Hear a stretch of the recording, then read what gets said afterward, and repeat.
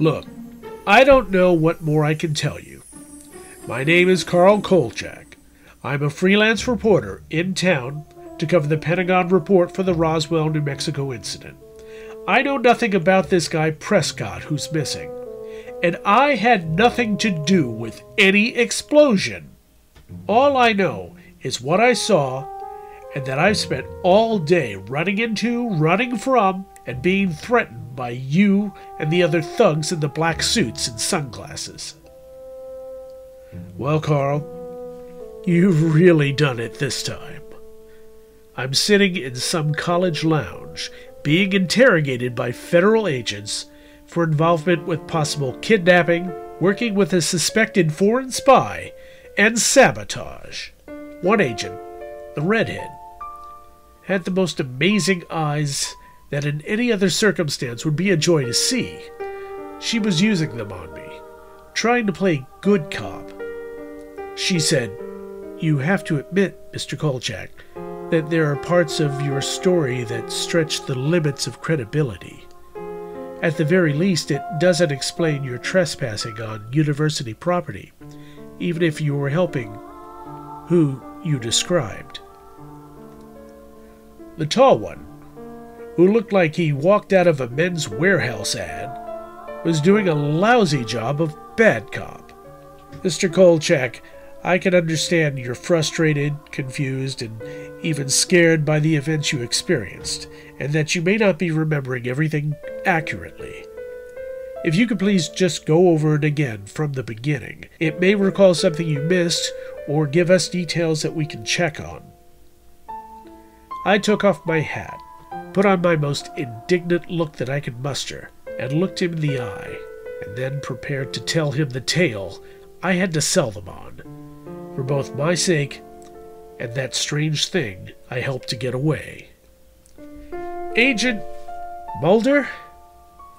I spent my life getting the story, finding the truth, and a part of one brief period today. I remember everything, so I'll tell it again. The day began not unlike any other in the busy city. You wake up perform the morning rituals of meal, dress, and drive on your way to work, just like the rest. But this time, you were caught by fate. The brakes in a truck fail. Instead of stopping, it flies through the intersection you were crossing and T-bones your sedan with tremendous force. Sends it spinning into the opposite corner, bouncing off more cars. After a moment, you rise and crawl out of the wreck. Hurt, but lucky to be alive. The people all stare at you, and you sense they have more fear than for your concern. It's easy to see why, or it is what they see and don't believe. You are no longer human looking.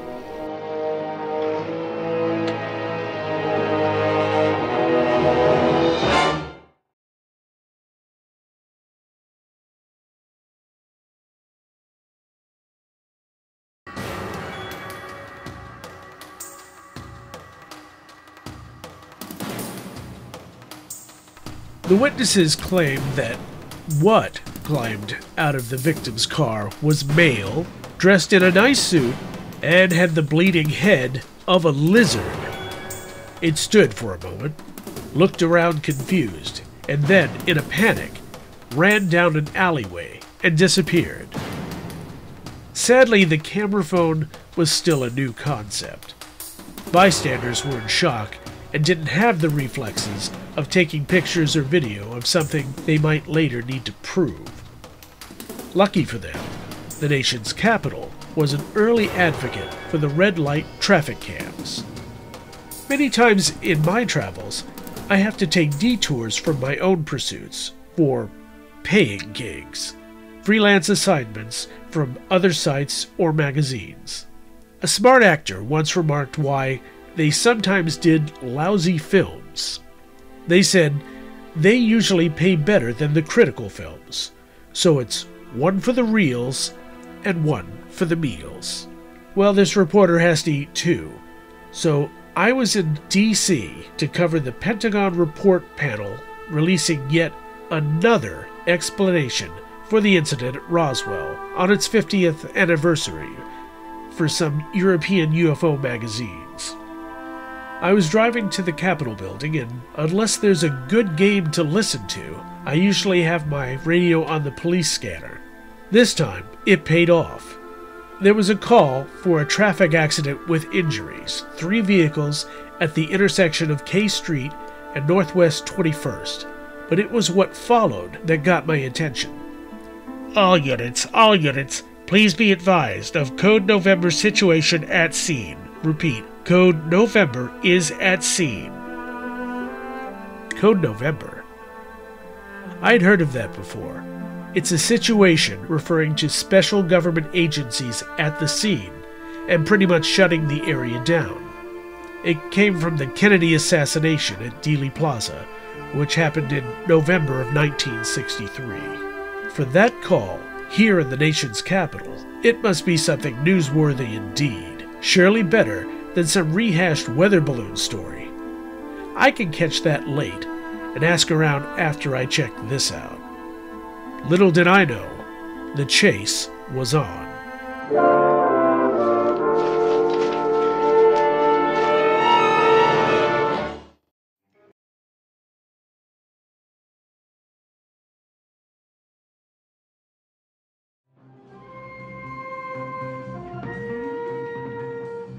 When I arrived at the scene, things still seemed a bit chaotic.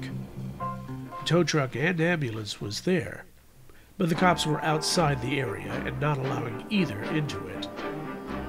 It was my lucky day, so far, as I went up to an officer to go in.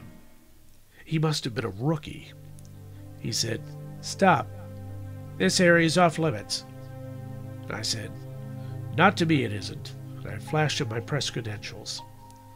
He gave me a blank stare, hardly looked at it, and just waved me in. Maybe it was my suit. Altogether, there were about 40 pedestrians milling about, being guided back and forth to different groups by some ominous men, all dressed in dark suits, some with earpieces talking into their wrists. I knew they weren't witnesses. Instead, they were grilling and dividing those who saw into those who cooperate and those who don't. I was able to speak to a few people while not drawing attention.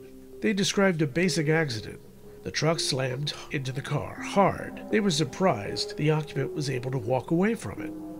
But that is where things get strange. Like I was telling that detective, he got out of the car, holding his head, and then it, it looked like he put on a Halloween mask. Yeah, some uh, Godzilla mask or something. So he looked around for a second, and then he just took off across the intersection and ran through the crowd. Strangest thing, he should have been real banged up. The detective said they think the guy might have robbed a bank or something, so he, he's trying to hide his looks. A couple of others seemed to say the same thing, almost word for word, which made me suspicious they'd been convinced that was what they saw. It didn't make sense. Wearing a mask? And that car is badly wrecked. Walking would have been hard enough. There's someone taking samples of some blue liquid on the ground next to the car. But it was at that time my presence had been noticed. I'd been surrounded by three feds, who promptly moved me off to the side of the road. ID. Now, one said. And you are? I said as my credentials were taken before I could offer it. We're with the government. Really? Which part? We asked the questions, ended the discussion as one turned around with my ID and mumbled something into his sleeve. And he sped back around and nodded a no to thug number one, who looked at it, gave it back, and then said, Kolchak, leave, now. This was not the day to challenge an order. So I made it back to the car. Every step of the way, I could feel his gaze on me. Whatever happened here wasn't some simple accident involving a mugger.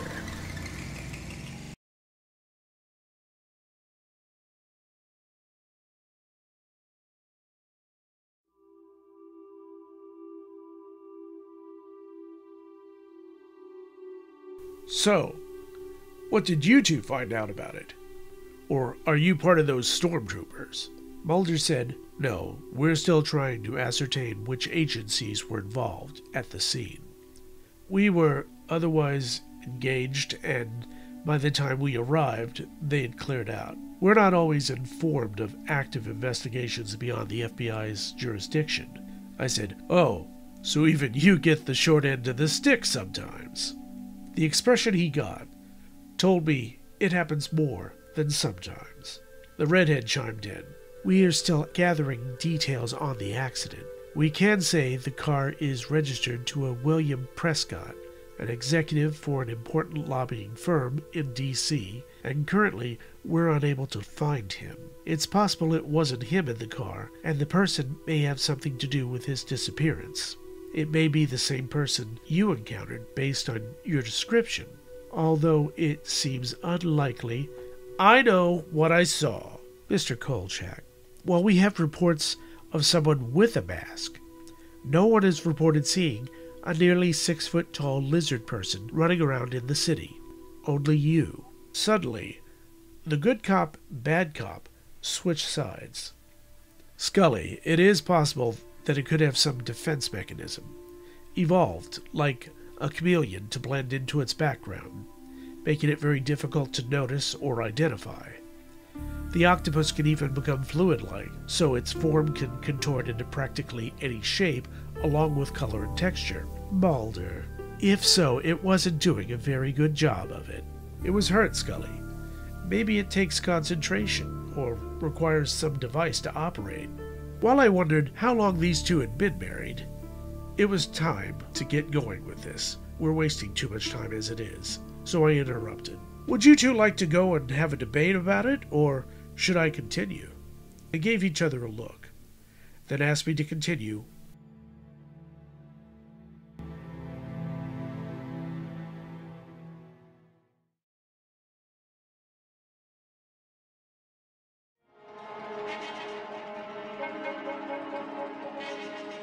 So I drove around for about an hour, looking for anything that might have given me a clue.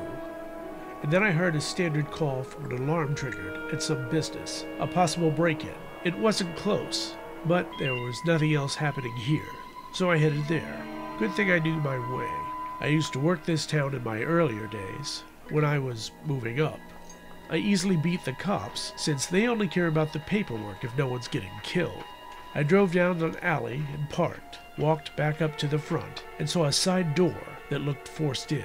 The lock looked strong, but broke. And since it was already open, I made my way in, in case someone needed help. It looked like some storage room for whatever business that it was, apparently closed. Some stuff was in disarray, but it could just be messy. I walked around, room to room, not finding anything that looked out of place, but I was hearing movement, like I was playing a game of hide and seek with someone. After about five minutes, I wasn't getting any closer, so I started making my way back. Either they found another way to get out, or they'd be leaving the same way. What I found found me. At the door I entered in, once again were the men in black. This time, they didn't seem so cheerful. One took each arm against my protesting and pulled me out of the building into the alley to see a dark sedan. Exiting were two more men wearing black, although one had a much finer fashion sense with it. That was the one who addressed me. Mr. Kolchak, you have a habit of showing up where you don't belong. That's very unhealthy. Why are you here? I tried to sound unfazed, cracked a smile, and said, I was thinking of buying a new hat. He smiled, like a tiger before he has his meal. These gentlemen will walk you back to your car, and if you remember or ever see my face again, you'll have nothing left to hang your hat on. Goodbye, Mr. Kolchak. The two heavies walked me down the alley, while I'm thinking they just may kill me anyway if I give them any trouble, which got complicated as I noticed something different. I had to try and play this off without alerting them, so I said, Thank you, gentlemen. I, I believe I know the rest of the way. I was ten feet away from my car. They stood there and let me continue on my own, but I may be jumping from the frying pan into the fire. See, it's a real warm day here in DC, and unless it's raining, or I have stuff in the car, my top is always down. But it isn't right now. My gut is telling me someone is hiding in my car.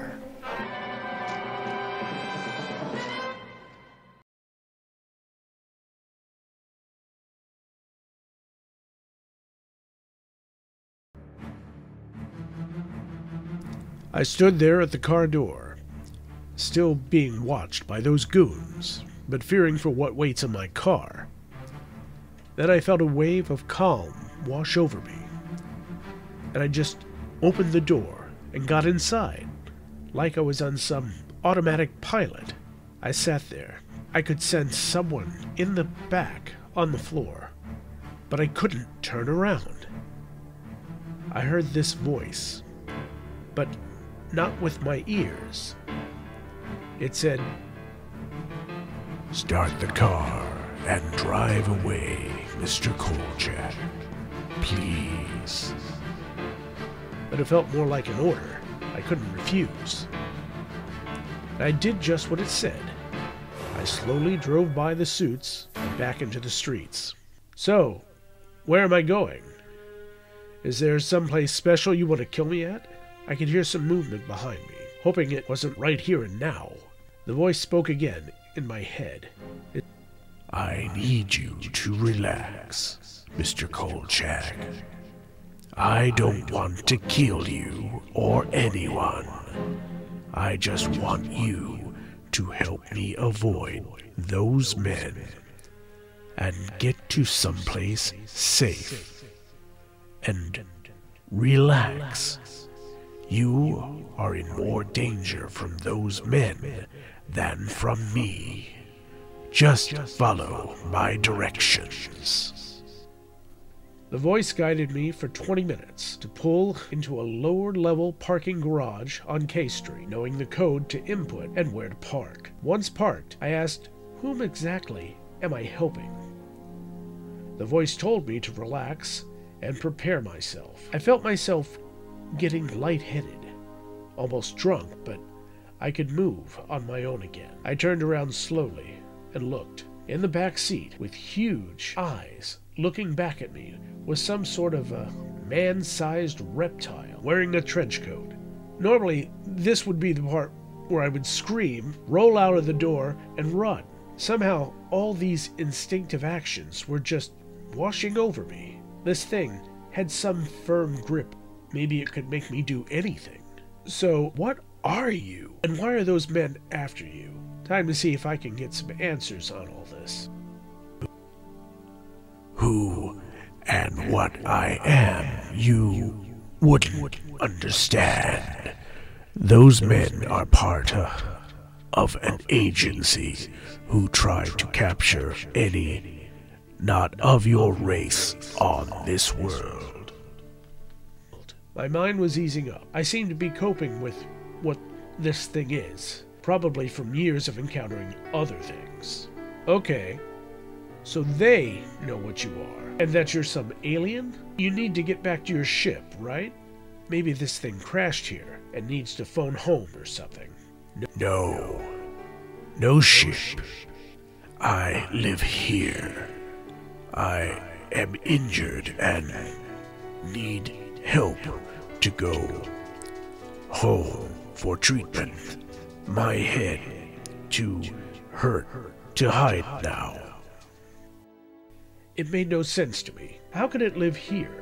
I needed to explain more of what it's telling me.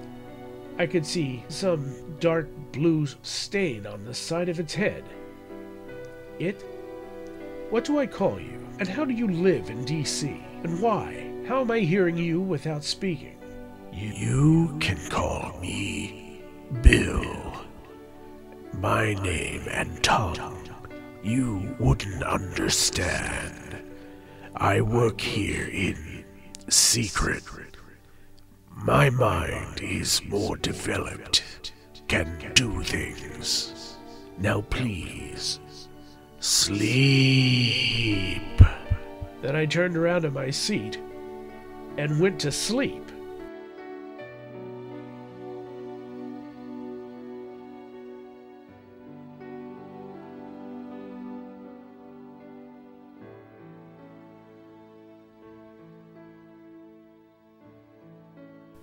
That's it?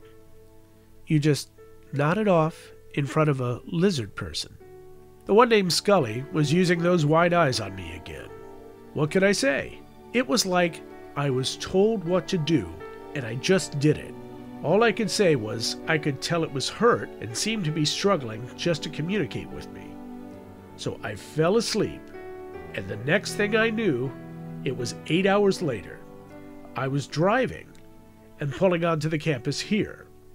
Are you saying you experienced missing time? You have no recollection of any events or actions between then and now? Mulder seemed to hone in at that time, like it was something he knew from experience. Well, no. Yes. I mean, I don't know. I know I fell asleep. I just can't remember anything up until I was driving here, just talking to Bill, the lizard man. At that point, Mulder's cell phone buzzed. He answered and then stepped away for a moment while Scully began questioning me more on what else I remembered about the lizard man to see if she could trip me up on my story. Good luck with that. Mulder speaks into his phone. Okay, guys, what have you got? Oh, it's not good, Mulder. Yeah, this guy Prescott is getting the eraser treatment. Data's literally disappearing from our screen as we watch. Mulder, six years ago, this person, Prescott, appeared out of nowhere. No background, schools, or medical records. All were great fakes. Couldn't fool me. But that's all being replaced right now with some puff piece, tailored to look like a Cold War spy novel character. It looks like a cover story's being prepared for him. This is definitely a Black Ops job now. We'll keep working on it. Mulder replied, Okay. Did you find anything on Mr. Kolchak? Did we ever? We need to get him an application. He checks out as a reporter, but some of the stories, and I can't believe I'm saying this, but they're out there. Really, Fox? You two could be bunkmates.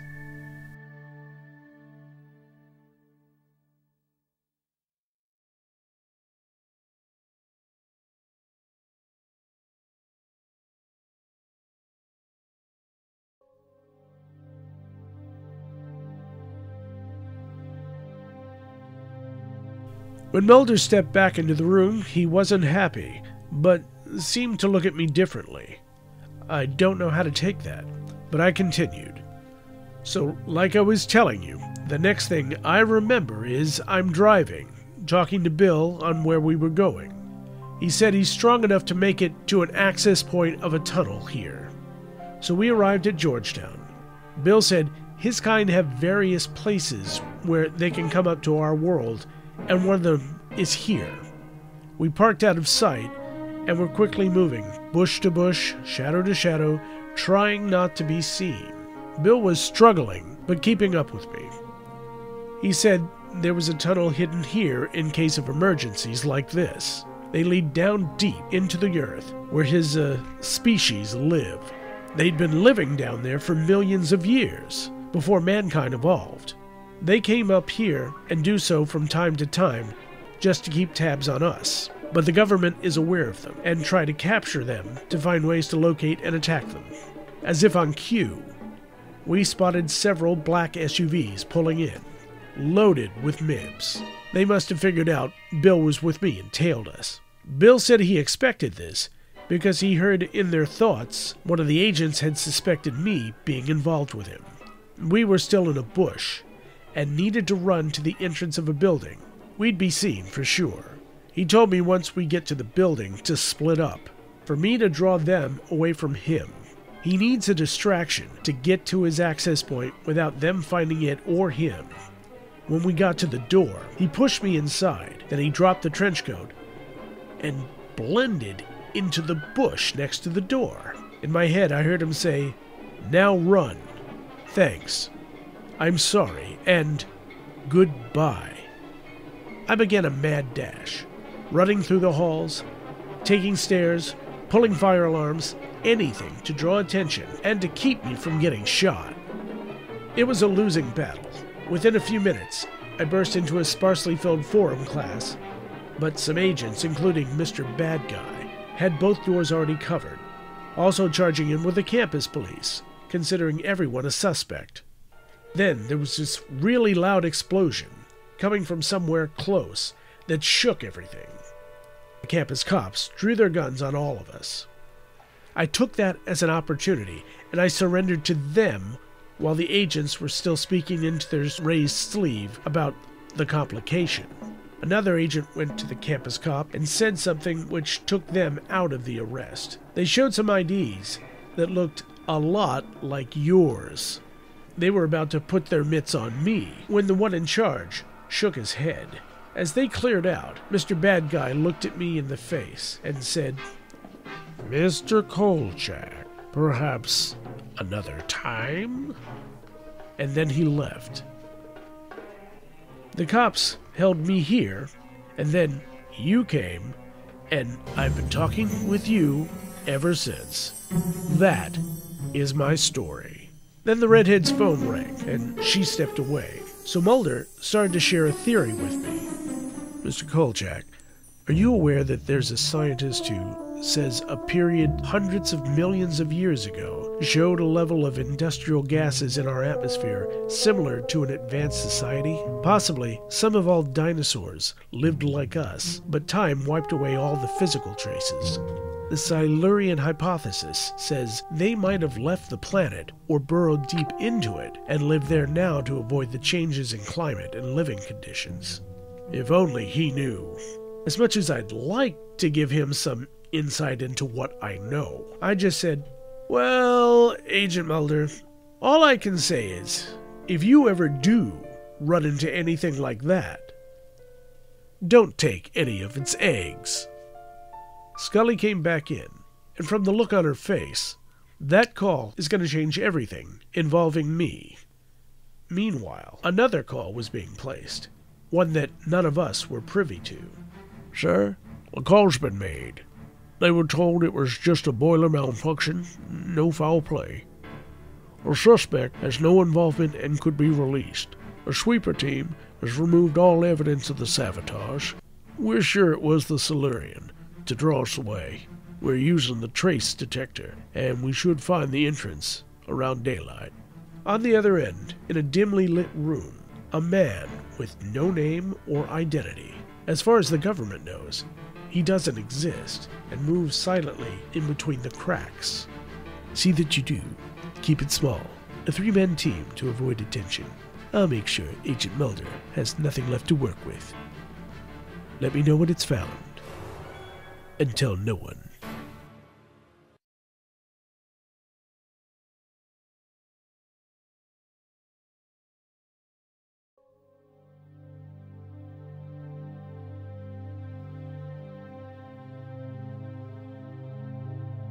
After telling us that there was nothing suspicious about the explosion, and they had nothing other than trespassing on which to hold me, and that they could do nothing on that without finding the agency that chased me, I was free to go. But they may want to contact me further. Then Agent Scully left to call local authorities to see if she could run down any samples from that wreck at the labs. As Agent Mulder walked me back to my car, he started talking about his background and how he had prior experiences that were not easily explained. Mr. Kolchak, I joined the FBI because of losing someone to a phenomena in the hopes I would be able to expand my search. But even with federal authority, I still get blocked, both by powers within the government wanting to hide and by those not willing to accept where the road leads. Do you know how hard it is to do your job when your own boss doesn't even believe you? I gave him a smile and said, Agent Mulder, you have no idea. I told him that I'd be around another day, just to try and salvage the story I was supposed to be writing, and he offered to buy me lunch, compare notes on the Roswell case closed farce we both missed. We exchanged contact info, and he gave me a card on a place to check out. Then I left to get some sleep. Mulder met Scully and then went to the car to drive back to the office for paperwork. As usual, they had some very different opinions about both the events and of yours truly. I'm telling you, Scully, I believe what he told us that there are intelligent reptilians here among us, taking places in our society. It could explain some of the related sightings and UFO reports that differ from the grays that we've gotten. Mulder, be reasonable. That man makes a living writing sensational stories. The only alien he got mixed up with was probably on the run from immigration. He's likely to write us into his next story as scary federal terminators. Did you find anything on the samples? Yes. The vehicle was originally towed by Capitol Police, but then it was seized by the Secret Service. They're claiming it's part of an active investigation of a Libyan spy working with a lobbying group. That would be Mr. Prescott. They did find some blue viscous fluid at the scene and took some for testing in case it was drugs. They expect to have the results by mid morning. Maybe that'll give us an idea of what really happened. I don't know, Scully. I know there's more to this than just a car accident and a spy on the run. We both know a lot of agents responded to these incidents, and if there was a foreign spy, then the FBI would have been informed and involved. In the morning, I want to open up an investigation into the lobbying firm, see what they were working on. Who knows? Maybe Prescott wasn't the only lizard person there. And what if it turns out they represent some think tank fighting to get disclosure about the truth on extraterrestrials? Would that burst your bubble? I doubt that.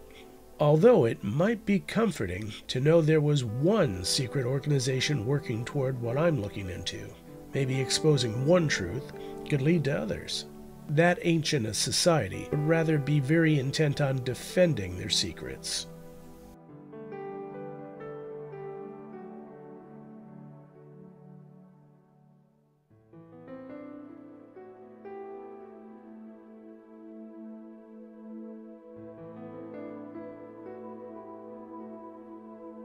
The next morning, Agents Mulder and Scully's presence is requested at the office of Director Skinner.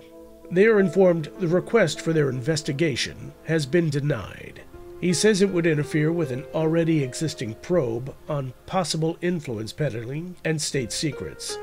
It's now a national security issue and beyond the X Files' purview.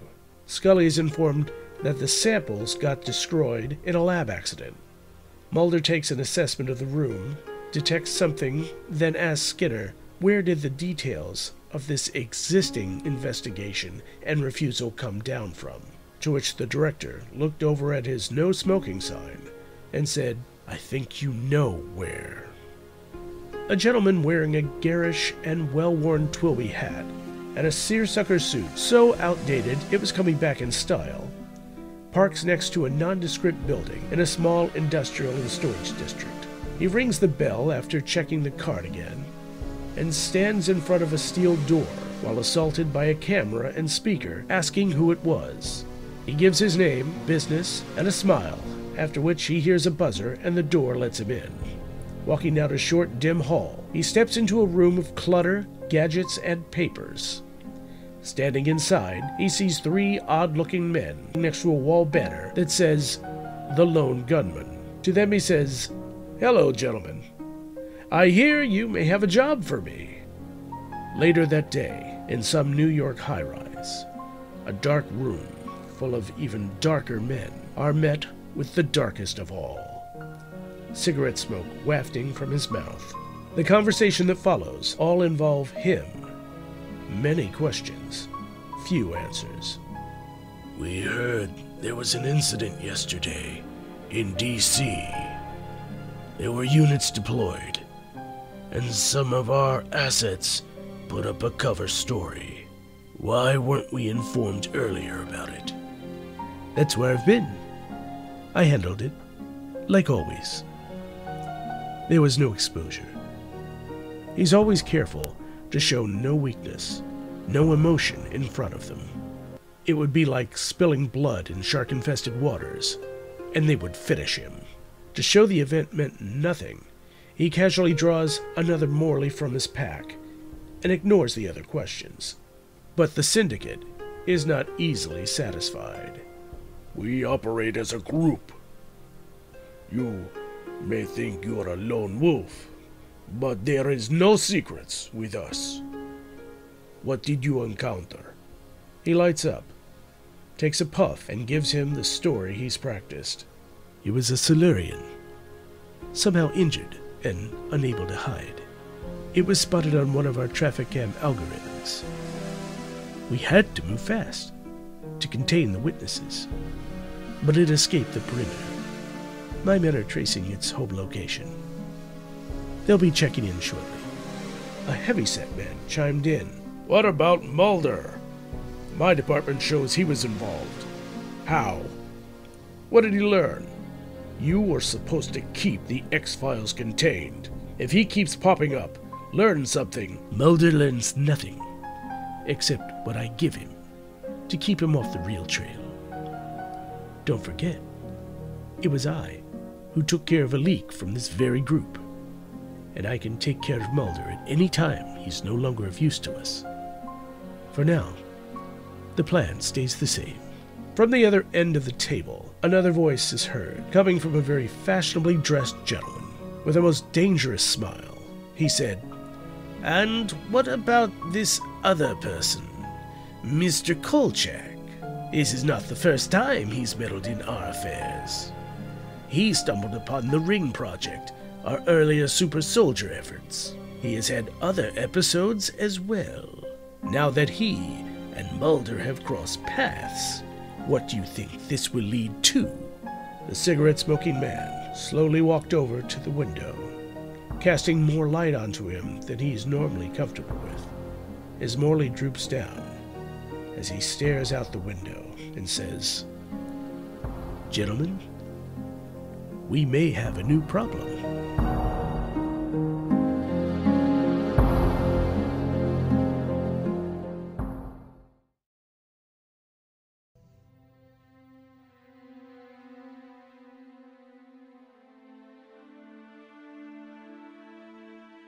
Look, you're in my head, you're making me do things, you even put me to sleep. If you need my help, you're going to have to convince me that this is the right thing to do, or so help me, I'll fight you and swerve right into a car myself. I needed to get something from this Bill. Maybe, if I press him, it'll work. I understand, Mr. Kolchak.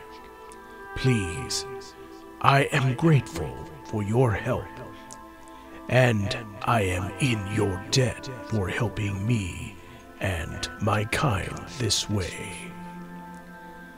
I will share with you that my kind are among humanity and use our influence to try and save you. Man is too easily close to destroying yourselves and our world with you. So we fight from inside to keep you from doing so, along with working against others from outside your world. There is a greater war among the stars for this world which forces in your government secretly conspire to negotiate their own seat of power. They are also our enemy, the men that were after me. Someday soon, we hope to expose both the alien threat and the plot of the Shadow Government. We wish to them come forth and try to unite our races and build a better Earth for all. Until then, we must stay a secret. It was a lot to take in. So you're saying you are the good guys, saving us from ourselves. Maybe you should have started with that. Maybe, Mr. Kolchak. I wanted you to know this now. But I'm afraid I cannot let you keep this secret knowingly. So it will be lost to you when I next tell you goodbye. I'm sorry. What? We are here now. Make this turn.